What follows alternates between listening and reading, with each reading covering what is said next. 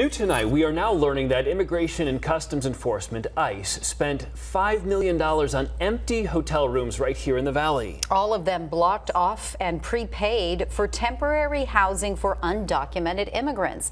Yet is live in the newsroom tonight with details on a new report from Department of Homeland Security. Hey guys, uh, these families were supposed to be at those hotels temporarily while ICE worked to process their cases. And it turns out there were not as many families needing housing as originally thought. Immigrations and Customs Enforcement contracted a company called Endeavors to open more than a thousand hotel rooms in eight hotels, three right here in Arizona, one in Yuma, two in Phoenix. So there were groups of protesters outside of these hotels, and they were questioning the legality of this program. The inspector general finds ICE spent $17 million on hotel rooms and services that were never used.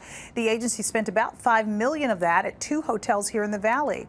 The feds also find those hotels had bad COVID policies in place. All of those hotels have been renamed from their original brand, so the Holiday Inn logo was taken down during this government contract.